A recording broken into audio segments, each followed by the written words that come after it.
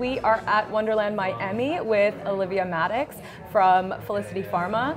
Really excited to have you here. Thanks so much for having me today. Yeah, no problem. Um, I'm really excited to kind of get into the background of how you ended up within this space. I know that Felicity Pharma is really uh, the first women-run biotech company, fully woman-run, yes. which is just super impressive and really exciting stuff.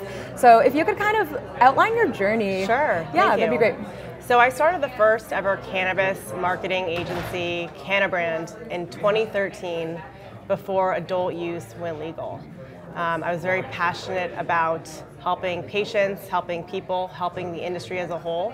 Um, at that time, it was very taboo. It was, uh, I remember telling my friends and family, you know, that I was getting into the space, and some of them told me I would never be able to get a real job ever again. Um, and this was back when there really wasn't any branding or marketing around cannabis. So my mission has been to destigmatize plant medicine as well as the psychedelic space.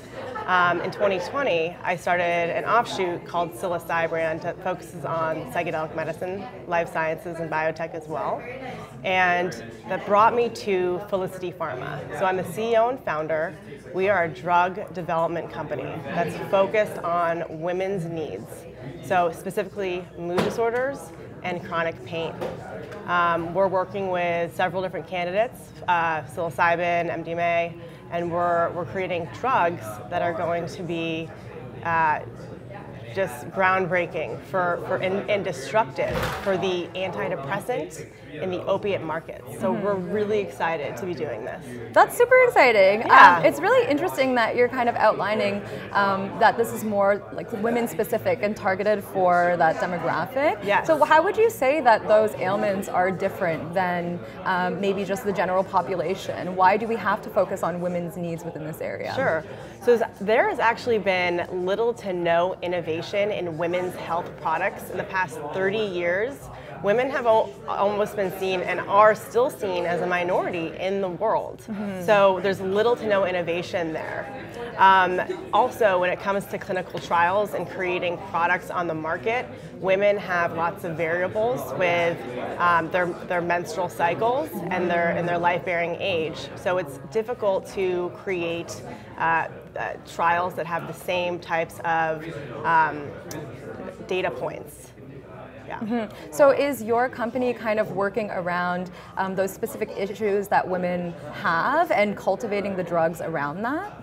Correct. So okay. right now we're looking at chronic pain. Um, we found that psychedelics and literature suggests that psychedelics uh, can rewire your brain and that's called neurogenesis, neuroplasticity. So when you're a young child, you, your, your, your brain is very neuro, neuroplastic. Mm-hmm. So it um, can change in form, and by using psychedelic medicine, we can actually re-stimulate and reform the brain and, and how the neurons interact.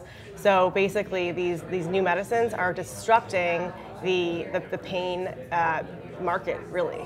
Um, also, on the mood disorder side, the psychedelics are really helping with just uplifting moods. Right now, there's just SSRIs on the market. Um, they're over over uh, prescribed, and they are. It, there's not a lot of options for mood disorders. There is one approved drug on the market called Zulresso. Mm-hmm. Um, it is an IV that you have to take at the hospital for 36 hours for PMDD. Um, so just, that just gives a great example of how there's a lack of products on the market. Mm-hmm, yeah. Mm-hmm. Oh, that's interesting. So did your work in cannabis uh, also kind of center around women's issues, and so you have that kind of background maybe interest that has kind of led into the psychedelic space? Yeah, so I'm, I'm all about women empowerment and, cool. um, you know, it's, it's really cool to see the paradigm shift of you know women CEOs in the psychedelic space and the cannabis space and, and being in more um, decision making, C level founding positions. Um, also, you know, I'm a woman, so it's so important to uh, lift other women up and, and really help them. And again, this is a huge opportunity because there really are not that many products on the market besides, you know, your birth controls and things like that mm-hmm. to help with women's needs. Um, th- there's so much opportunity, and then just going back to um, neurogenesis and chronic pain and, and, and such, there, there are ways that the psychedelic space help women specifically with um, pain such as like vulvodynia, for instance, is a chronic pain of the vaginal area, and just it's, it's horrible, and there's really no solutions for these things. Mm-hmm, that's interesting. Yeah. So, uh, do you have any information on how women are kind of intaking um, the research and the data about psychedelic wellness and healing? Is there kind of a way that uh, that messaging is getting across to them effectively? Yeah, and that's a great question. So, since I do have a media and marketing background, that's something that we're going to be working on, which is, you know, gathering data, working with some of the, the tech companies and the apps that are in the space, aggregating data, um, but we're really going to be getting most of our data through the clinical trials we're going to be conducting. Mm-hmm. So we'll have facts, we'll be able to go, you know, get FDA approved, go to market. Um, so we're really excited to, to not only, you know, take the scientific medicine drug approach, but also um, just spread awareness of the psychedelic community, um, of the benefits of psychedelics as well, mm-hmm. and just really open a lot of people's minds. That's great. Yeah. I think something that we're finding just on our platform is that the interest in psychedelic healing uh, between men and women is almost equal, uh, which is really interesting to see, I think, because I don't think that there have been a lot of women figures in this space to push this cause through. Mm-hmm. So I feel like there is a lot of potential here. Um, you know, women are really struggling with their own health issues that are very women specific. So it's exciting to kind of see you understanding that issue and finding a solution to that. Absolutely. You know? Yes. Yeah. That's really exciting. Thank you so much. Yeah, no problem. Yeah. Um, yeah, so where are you hoping to see the direction of Felicity Pharma to go, you know, in the coming years?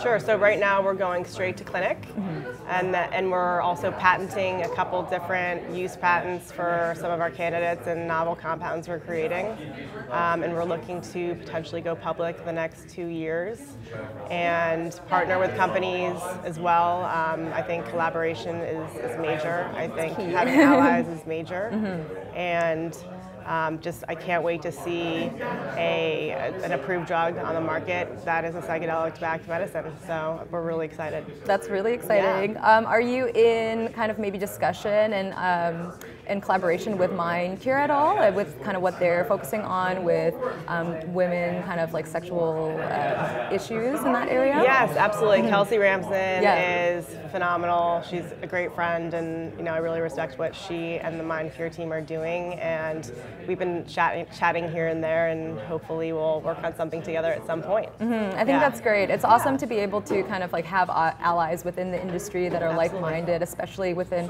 um, I mean, technically a minority group in the industry, which is women, right? Yes. Um, but that's changing, and I see right. that you know there's a lot of potential for that growth to happen here, and I think that we're you're kind of like spearheading that. Um. So we appreciate all the work you're doing. Thank you so much. Yeah, no problem.